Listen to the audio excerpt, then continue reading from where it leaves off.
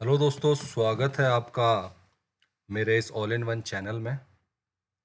दोस्तों, आज की वीडियो में बात करेंगे अगेन जो सेंट्रल गवर्नमेंट एम्प्लॉयज़ के लिए आज का जो नया अपडेट है, उसके बारे में बात करेंगे। जो नया रूल अनाउंस किया गया है, उसके बारे में बात करेंगे। क्या क्या उसमें पॉइंट्स हैं और जो पहले रूल चल रहा था, उसमें क्या अपडेशन आया हुआ है। क्योंकि ये जो अपडेट है बेसिकली काफ़ी टाइम से जो पुराना एक अपडेट चल रहा था कि सेंट्रल गवर्नमेंट एम्प्लॉयज़ के लिए, और कई बार इसके ऊपर जो है काम भी चल रहा था। तो अभी जो है, इसका ऑफ़िस ऑर्डर आ गया है, और मैं आपको सजेस्ट करूँगा कि ऑफ़िस ऑर्डर को ज़रूर पढ़ें, और इसमें जो है, क्योंकि इससे जो है काफ़ी बेनिफिट्स होने वाले हैं।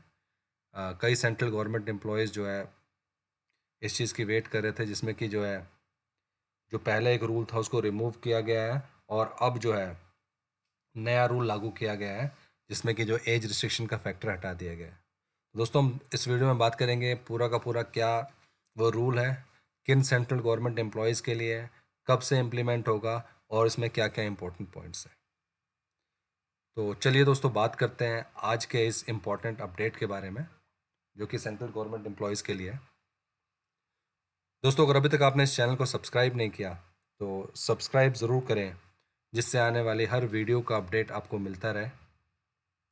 और साथ ही साथ बेल आइकन ज़रूर दबाएँ। दोस्तों, इसमें जो अपडेट आ रहा है वो, जैसा कि मैंने आपको बताया कि सेंट्रल गवर्नमेंट एम्प्लॉयज़ के लिए है और ये बेसिकली जो अगर हम सेंट्रल गवर्नमेंट एम्प्लॉयज़ की बात करें तो ये रेलवे डिपार्टमेंट के लिए है। और मैं आपको उसको पूरा का पूरा अपडेट बताता हूँ। ये अभी बेसिकली ऑल इंडियन जो रेलवे एंड प्रोडक्शन यूनिट को भेजा गया है डायरेक्टर जनरल आरडीएसओ को भेजा भेजा गया है, और जितने भी चीफ एडमिनिस्ट्रेटिव ऑफिसर्स हैं उन सबको जो है भेजा गया है इसमें और इसमें जो एग्जैक्ट अपडेट है मैं आपको उसकी ऑफ़िस और कॉपी दिखाता हूँ, जिससे कि एग्जैक्टली आपको पता चल सके। दोस्तों, आप देख सकते हैं, ये है ऑफ़िस ऑर्डर जिसमें कि जो इसका सब्जेक्ट है, उसमें एग्जैक्टली मेंशन किया गया है कि जो एज लिमिट है बेसिकली क्या था कि जो भी आपको फैसिलिटी मिलती है, जो भी सेंट्रल गवर्नमेंट एम्प्लॉयज़ उनको जो फैसिलिटी मिलती है, आप यहाँ पे देख सकते हैं, यहाँ पे। जैसा कि मैंने आपको बताया कि सभी जो है all India railway production units director general सबको भेजा गया है और इसका जो है आप ऑनलाइन चेक भी कर सकते हैं और आप सब्जेक्ट देख सकते हैं removal of age limit of twenty five years of medical facilities for dependent children of serving railway employees and pensioners तो एक एज लिमिट थी कि कौन कौन से बच्चे जो है डिपेंडेंट माने जाते हैं और उसमें जो है, जो मेन क्लॉज ये था कि जो बच्चे up to twenty five years के हैं उन्हीं को डिपेंडेंट रखा, माना जाएगा।